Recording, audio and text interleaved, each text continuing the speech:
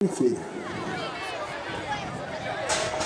Allez, la deuxième demi-finale dans cette catégorie des Benjamins avec euh, le bon départ pour le Racing Club Fanière, Sacha Léoto. Sacha Léoto qui s'empare de la première place.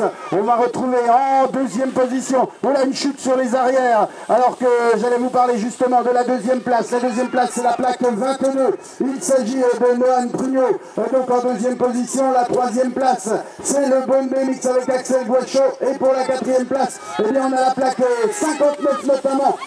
La plaque 59, il s'agit de Paul Fulpin dans ce dernier virage. On a également Romain Lang qui tente de revenir. Allez-y, au bon Ça ne suffira pas pour ces deux pilotes qui vont se voir éliminés au stade des demi